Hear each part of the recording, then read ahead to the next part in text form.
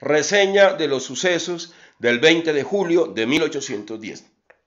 Cada país del mundo cuenta con una celebración especial que conmemora periódicamente como el hecho fundacional mismo del país. Para el caso de Colombia, nuestra patria, dicho hecho fundacional son los sucesos del 20 de julio del ya lejano año de 1810 en la Santa Fe colonial, entonces capital del virreinato de la Nueva Granada.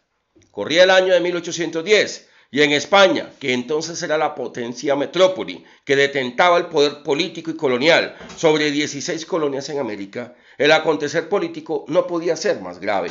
Desde 1807, el emperador francés, el todopoderoso Napoleón Bonaparte, al ir de paso con sus tropas por España para invadir a Portugal, con quien tenía graves diferencias, aprovechó la inestabilidad política en el gobierno español para encarcelar en la ciudad francesa de Bayona al rey de España, padre Carlos IV, y a su hijo, el ambicioso príncipe Fernando de Borbón, quien le exigía a su padre que le entregara la corona.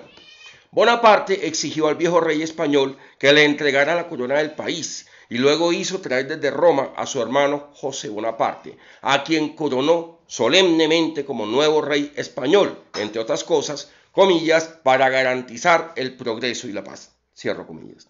Esto encendió la guerra civil en España y en Madrid. Una junta de patriotas se declaró en guerra contra el rey invasor. Fue la llamada Junta de Gobierno de Cádiz aunque en cada provincia española se formaron nuevas y nuevas juntas antibonapartistas. Una de estas juntas rebeldes decidió enviar comisionados regios a las colonias de América para ponerlos al tanto de la situación y conseguir apoyos militares y económicos para repeler a los franceses, expulsarlos y reinstalar a Fernando VII en el trono de España y las colonias.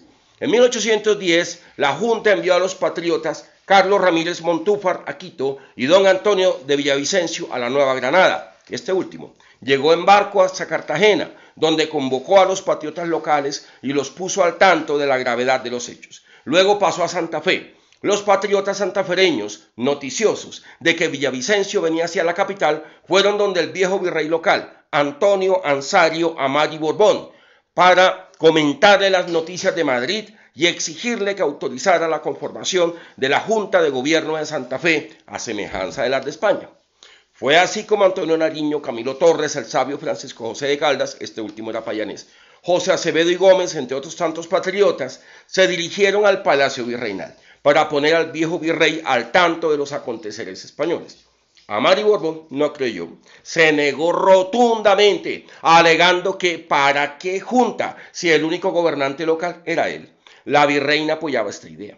En vista de la actitud terca del virrey, los patriotas se reunieron cierta noche de manera secreta en el Observatorio Astronómico, que entonces era dirigido por Caldas para decidir qué hacer. El plan acordado fue este, aprovechando que venía el sábado día de mercado, algunos autores dicen que era viernes, los Morales, Francisco y Antonio llegarían hasta la tienda del español don José González Llorente, con la excusa de pedirle prestado un florero para adornar la mesa del comisionado regio, don Antonio de Villavicencio, quien en contados días llegaría a la ciudad procedente de Cartagena de Indias. Muy seguramente no lo iba a prestar, así que se encendería la pelea entre los Morales y Llorente. Carbonell arengaría al populacho reunido en la Plaza Mayor de Santa Fe al grito de abajo los chapetones que insultan a los americanos, cabildo abierto, cabildo abierto, queremos junta de gobierno. Y así tal cual se hizo. Francisco y Antonio Morales llegaron hacia media mañana a la tienda de González Llorente. Le pidieron prestado un fino florero de porcelana de Castilla. Aquel se negó, diciendo que él alquilaba o vendía, no prestaba. Los Morales afirmaron que González Llorente había dicho, no presto nada y me en Villavicencio y en todos los americanos. Uno de los Morales jaló violentamente a González Llorente de las solapas a la Real Calle del Comercio, actual carrera séptima porque aquel grave insulto, comillas, lo iban a arreglar de hombre a hombre, cierro comillas. El otro, acompañado por Carbonel, exaltó al populacho de la plaza. A los pocos minutos una turba de gente rodeaba la casa del español.